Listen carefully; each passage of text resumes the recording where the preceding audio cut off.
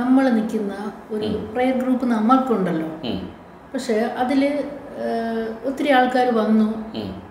പെട്ടെന്ന് അവർ നമ്മളെ നിന്ന് എന്തെങ്കിലുമൊക്കെ ഒരു മെസ്സേജ് പാസ് ചെയ്ത് കഴിഞ്ഞാൽ അതോടുകൂടി അവർ പോകുന്നു.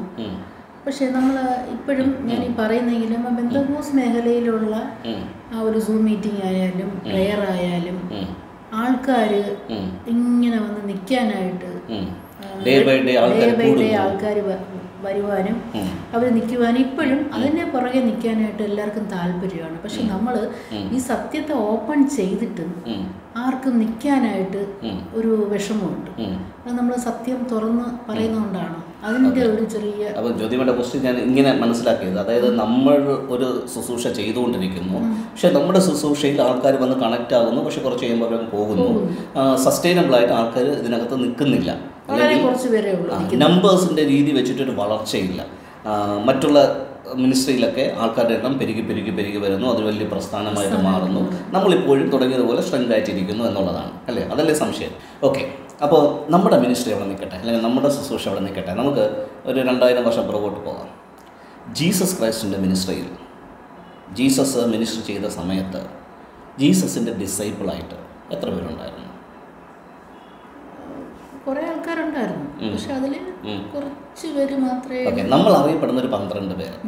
വീണ്ടും കുറച്ചുകൂടെ കീനായിട്ട് സൂക്ഷിച്ചൊക്കെ നോക്കിക്കഴിഞ്ഞാൽ പിന്നെ ചിലപ്പോൾ ഒരു അഞ്ഞൂറ് പേര്. ഇത്രയൊക്കെ കാണത്തുള്ളൂ അല്ലേ? പക്ഷേ ജീസസ് എവിടെ പോയാലും വലിയൊരു പുരുഷൻ അവനെ അനുഗമിച്ചിരുന്നു എന്തിനാ? ജീസസിന്റെ കുറച്ച് കാര്യങ്ങൾ കിട്ടും. എന്ത് കാര്യം? അവരുടെ ആവശ്യങ്ങൾ രോഗസൗഖ്യം ഭൗതികമായിട്ടുള്ള നന്മകൾ. ഇത് കിട്ടുമെന്നുള്ളത് കൊണ്ടാണ് ഒരു വലിയ പുരുഷാരെപ്പോഴും ജീസസിന്റെ പുറകെ അനുഗമിച്ചിരുന്നത്. ജീസസിന്റെ കൂടെ അന്ന് വൻ പുരുഷാരം വന്നുവെങ്കിലും ആരും ജീസസിന്റെ ഉപദേശങ്ങളെ സ്വീകരിച്ചിരുന്നില്ല. അപ്പോൾ പലപ്പോഴും ജീസസ് വലിയ ആദർശങ്ങൾ പറയുമ്പോൾ അല്ലെങ്കിൽ ആത്മീയതയിലുള്ള കട്ടിയായിട്ടുള്ള കാര്യങ്ങൾ പറയുമ്പോൾ ആ യോഹന്നാന്റെ സുവിശേഷം ആറാം അധ്യായത്തിലൊക്കെ എഴുതിയിട്ടുണ്ട് ആരും യേശുവിന്റെ കൂടെ പിന്നെ നടന്നില്ല. പലരും അന്ന് മുതൽ യേശുവിനെ വിട്ടുപോകാൻ തുടങ്ങി. സോ എന്തിനു കൂടെ നിൽക്കുന്നു എന്നുള്ളത് ഒരു ക്വസ്റ്റ്യനാണ് സോ എന്തുകൊണ്ട് ഇത്തരത്തിലുള്ള പാരലൽ മിനിസ്ട്രിയിൽ ആൾ കൂടുന്നു? അവർക്ക് നോട്ടം എന്ന് പറയുന്നത് അവരുടെ സാമ്പത്തിക വിഷയങ്ങൾ അവരുടെ പിന്നെ എന്താ എഡ്യൂക്കേഷൻ ആയിട്ടുള്ള കാര്യങ്ങൾ വിസ ജോലി പ്രൊമോഷൻ ഇങ്ങനെയുള്ള നന്മകൾ കിട്ടുമെന്ന് പറഞ്ഞാണ് അവരെല്ലാവരും ഇങ്ങനെ ഇതുമായിട്ട് അസോസിയേറ്റ് ചെയ്ത് നിൽക്കുന്നത്. കിട്ടില്ല എന്ന് പറഞ്ഞു നോക്കി. ഓ. അപ്പം നമ്മെ സംബന്ധിച്ചിടത്തോളം നമ്മുടെ മിനിസ്ട്രിക്ക് അത് നമ്മൾ കൊടുക്കുന്നത് ഇത്തരത്തിലുള്ള ഭൗതികമായിട്ടോ അല്ലെങ്കിൽ മറ്റു തരത്തിലുള്ള നേട്ടങ്ങൾക്ക് വേണ്ടി പ്രാർത്ഥിക്കാനായിട്ട് വരുന്നവരെ നമ്മൾ എന്റർടൈൻ ചെയ്യാറില്ല. നമ്മൾ കൊടുക്കുന്നത് എന്താ?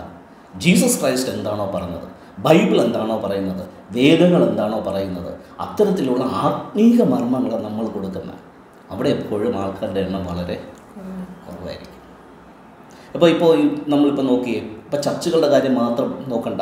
മറ്റുള്ള കാര്യങ്ങൾ നോക്കി ഇപ്പോൾ ചില ധ്യാന കേന്ദ്രങ്ങൾ. ധ്യാന കേന്ദ്രങ്ങൾ ക്രിസ്തീയ ധ്യാന കേന്ദ്രങ്ങൾ മാത്രമല്ല. മെഡിറ്റേഷൻ സെന്റേഴ്സ് ഒക്കെ ഇഷ്ടംപോലെ ഉണ്ടല്ലോ. സോ അവിടെ എല്ലാം ആൾക്കാർ ഓടിക്കൂടുന്നുണ്ട് എന്തിനാ?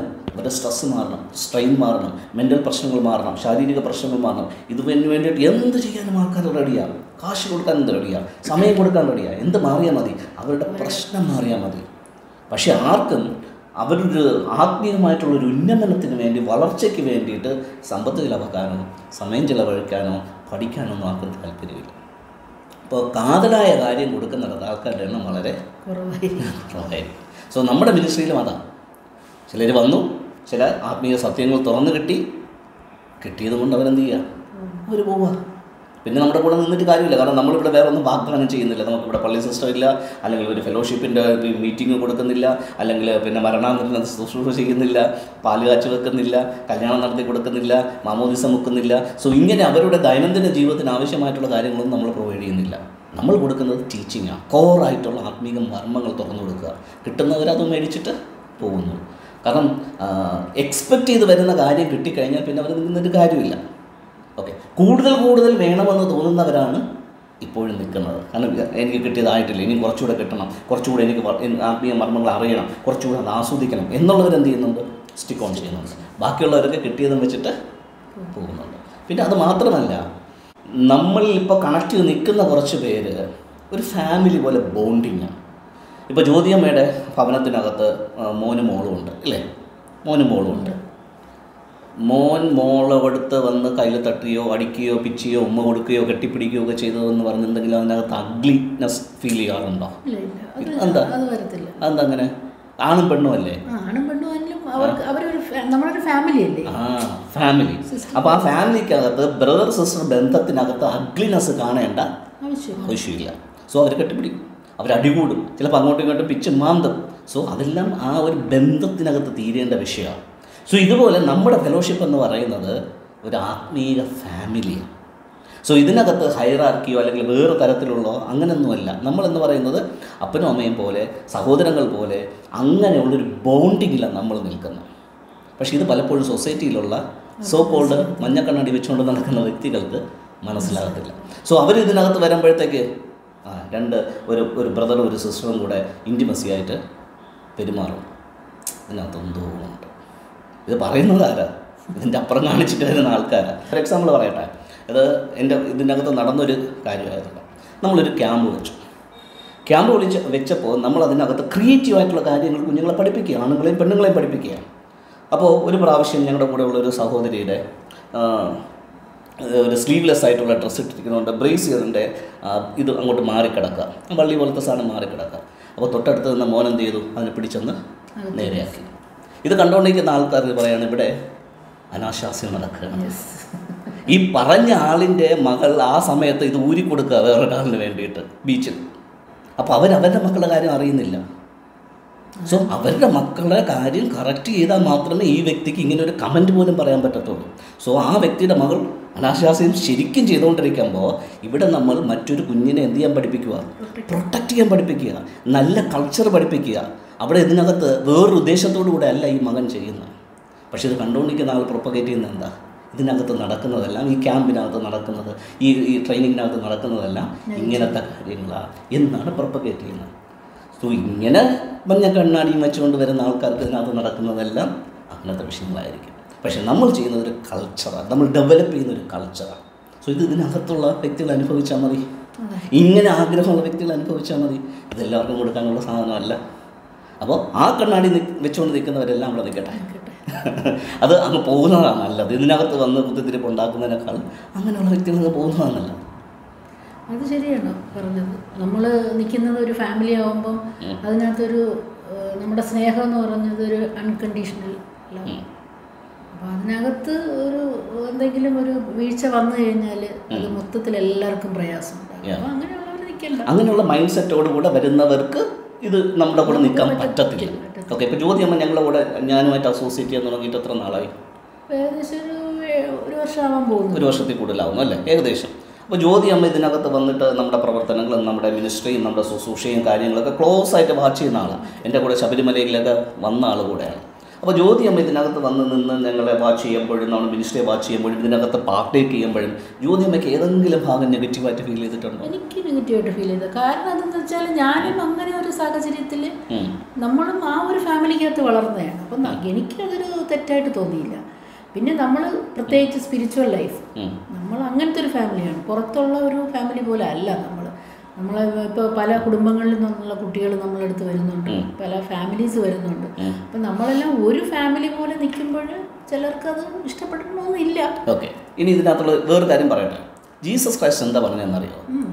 എന്റെ നാമത്തിൽ നീ ചില കാര്യങ്ങളെ വിട്ട് എൻ ഞാൻ പറയുന്ന ടീച്ചിങ്ങിന് ഞാൻ പറയുന്ന ലൈഫ് സ്റ്റൈലിന് ആ കൾച്ചറിന് മൂല്യം കൊടുത്ത് നീ അങ്ങോട്ട് സ്റ്റെപ്പ് ഫോർവേഡ് ചെയ്ത് കഴിഞ്ഞാൽ നിനക്ക് ഒരമ്മയ്ക്ക് പകരം നൂറമ്മമാർ നിന്റെ കൂടെ വരും. ഒരപ്പന് പകരം നൂറപ്പന്മാർ വരും. ഒരു സഹോദരനോ സഹോദരിക്കോ പകരം നൂറ് പേര് നിന്റെ കൂടെ കണക്റ്റായി നിൽക്കും. അങ്ങനെ കണക്റ്റായി നിൽക്കുന്നില്ലേ?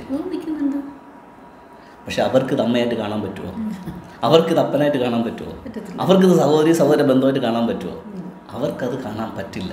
പക്ഷെ ഇത് കർത്താവ് വെച്ചൊരു റൂളാണ്. സോ ഇതിനകത്ത് നിൽക്കുന്നവർക്ക് അതിന്റെ മഹത്വം മനസ്സിലാകത്തുള്ളൂ ഞാൻ നിങ്ങളെന്താ വിളിക്കുന്നത്? ജ്യോതി അമ്മ എന്നാണ് വിളിക്കുന്നത്. ആ അമ്മ എന്ന് വിളിക്കുന്നതിനകത്ത് ജെന്യൂനിറ്റി ഫീൽ ചെയ്തിട്ടുണ്ടോ? സോ ഇതങ്ങനെ ഒരു ഒരു ഒരു ഹാർട്ട് റിലേഷൻഷിപ്പിനകത്ത് മാത്രമേ ശരിക്കും പറഞ്ഞാൽ ഫാദർ മാത്രമല്ല ഇവിടെ എല്ലാവരും എന്നെ വിളിക്കുന്ന ജ്യോതി അമ്മയാണ് ജ്യോതി അപ്പം ഞാനൊരു അമ്മയുടെ സ്ഥാനത്ത് തന്നെയാണ് നിൽക്കുന്നത്. അവരിൽ എന്തെങ്കിലും കുഞ്ഞുങ്ങളിലായാലും എന്ത് തെറ്റ് കണ്ടു കഴിഞ്ഞാൽ ഞാൻ അപ്പോഴവരെ മാറ്റുകയാണ്. വഴക്ക് പറയുന്ന സ്ഥലത്ത് വഴക്ക് പറയുന്നുണ്ട്. അതിലൊന്നും അവർക്ക് ഒരു പ്രശ്നവുമില്ല. എന്റെ ആ അമ്മ എന്നുള്ള സ്ഥാനത്ത് തന്നെയാണ് അവർ കാണുന്നത്. അപ്പോൾ അങ്ങോട്ടും ഇങ്ങോട്ടും ഇങ്ങോട്ടും. അങ്ങോട്ട് കാണുന്നത് പോലെ ഇങ്ങോട്ടും ഓണർഷിപ്പ് കിട്ടുന്നുണ്ട്. സോ ഇങ്ങനെ ആകണം ഒരു ആത്മീക കുടുംബത്തിന്റെ നിലനിൽപ്പ്. സോ അവിടെ നമ്പർ ഓഫ് പീപ്പിൾ എപ്പോഴും കുറവായിരിക്കും. നമുക്ക് ആളെ ഊതിപ്പിരിപ്പിച്ച് കാണിച്ചിട്ട് വലിയ ഗെയിനൊന്നുമില്ല നമ്മൾ ആൾക്കാരുടെ സ്വോത്ര കാഴ്ചയിൽ ഉണ്ടോ എന്ന് ചോദിച്ചു കഴിഞ്ഞാൽ തീർച്ചയായിട്ടും എന്റെ അക്കൗണ്ടിലേക്ക് സ്ഥിരമായിട്ട് നല്ല എമൗണ്ട് ഇടുന്ന വ്യക്തികൾ നമ്മുടെ കൂടെയുണ്ട്. ചോദിച്ച് മേടിക്കുന്നതല്ല ദശാംശം മേടിക്കുന്നതല്ല. അതിന്റെ ഒരു ഓഹരി ചോദിക്കുന്നതല്ല അവരറിഞ്ഞിടുന്നതാണ് അങ്ങനെയുള്ളവരുണ്ട്. അല്ലാതെ തന്നെ നമ്മൾ മറ്റുള്ള രീതിയിൽ ഇതിനകത്ത് നമ്മുടെ മിനിസ്ട്രിക്ക് പുറമേ നിന്നുള്ള വരുമാനം നമ്മൾ ഉണ്ടാക്കുന്നുണ്ട്. ഒരിക്കലും നമ്മൾ എന്ത് ചോദിക്കുന്നില്ല? ദശാംശം ചോദിക്കുന്നില്ല. സ്തോത്ര കാഴ്ച ചോദിക്കുന്നില്ല പിന്നെ ഓഹരി ചോദിക്കുന്നില്ല. ഇതൊന്നും ചോദിച്ച് മേടിക്കേണ്ട കാര്യങ്ങളല്ല. ഒരു അമ്മ എന്നുള്ള നിലയിൽ മക്കൾ അമ്മയെ കരുതുന്നതിന് അമ്മ ചോദിച്ചു മേടിക്കും. അപ്പനാണെങ്കിലും? ഇല്ല. മക്കൾക്ക് അപ്പം കൊടുക്കുന്നതോ? മക്കൾക്ക് അമ്മ പ്രൊവൈഡ് ചെയ്യുന്നതോ. ഇതൊന്നും ചോദിച്ച് വാങ്ങിക്കേണ്ട റിലേഷനില്ല അറിഞ്ഞ് കാര്യങ്ങൾ അങ്ങോട്ടും ഇങ്ങോട്ടും എന്ത് ചെയ്യുക? ചെയ്യുക. ഇതുപോലെയാണ് നമ്മുടെ ആത്മീയ കുടുംബത്തിനകത്തും പരസ്പരം അറിഞ്ഞ് കാര്യങ്ങൾ ചെയ്യുന്നുണ്ട്. അതുകൊണ്ടോ ചോദിച്ചു കഴിഞ്ഞാൽ ഉണ്ട്. സോ ഇങ്ങനെ ആകണം ഒരു ആത്മീയ കുടുംബം മുമ്പോട്ട് പോകേണ്ടത്. അല്ലാതെ ഒരു ഒരു ഒരു മിനിസ്റ്റർ നടത്തിയതിന് ശേഷം ഒരു പ്ലേറ്റ് വെച്ചിട്ട് ആ എല്ലാവരും കൊണ്ടിടും. ആ, ഇന്ന ഇന്ന ആവശ്യങ്ങളുണ്ട് കൊണ്ടിടും. ഇങ്ങനെ ക്യാൻവാസ് ചെയ്ത് വരുമാനം ഉണ്ടാക്കേണ്ടുന്ന ഒരു കാര്യമല്ല ശുശ്രൂഷ ഒരു ഫാമിലിയാണ് ഫാമിലി എങ്ങനെ ഫങ്ഷൻ ചെയ്യുന്നു. അതുപോലെ തന്നെയാണ് ആത്മീയ കുടുംബത്തിനകത്തും കാര്യങ്ങൾ നടക്കേണ്ടത്. അതുകൊണ്ടാണ് ജീസസ് പറഞ്ഞത് രണ്ടോ മൂന്നോ പേർ എണ്ണം കൂടുമ്പോൾ പ്രശ്നങ്ങളുണ്ടാകും പക്ഷെ എപ്പോഴും ജീസസ് ആഗ്രഹിക്കുന്നത് ഒരു ചെറിയ ഫെലോഷിപ്പാണ് അവിടെയാണ് വളർച്ച ഉണ്ടാകുന്നത് അപ്പോൾ വന്ന് അനുഭവിച്ച് നേട്ടങ്ങൾ മനസ്സിലാക്കി അത് എന്താ ഗ്രാബ് ചെയ്തിട്ട് പോകുന്നവർ സന്തോഷത്തോടെ നമ്മൾ എന്ത് ചെയ്യുന്നു? അവരെ പറഞ്ഞേക്കും അപ്പോൾ സംശയം മാറിയോ?